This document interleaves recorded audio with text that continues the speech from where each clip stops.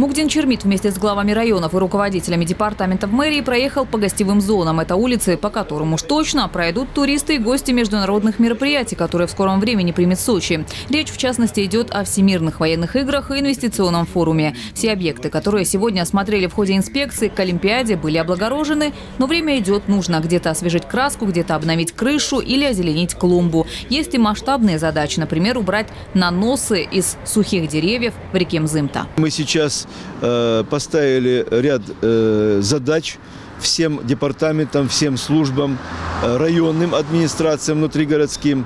Поэтому через составлен протокол объезда и ровно через э, 10 дней, 18 числа в субботу, точно так же комплексной комиссией мы проведем опять повторный объезд, проведем инспекцию и посмотрим, как все это выполнено. Как отметил вице-мэр, жителям для того, чтобы облагородить свой двор, порой не нужно тратить деньги, стоит просто навести порядок. А вот с незаконной рекламой и другими нелегальными конструкциями вдоль трасс разберутся профильные департаменты.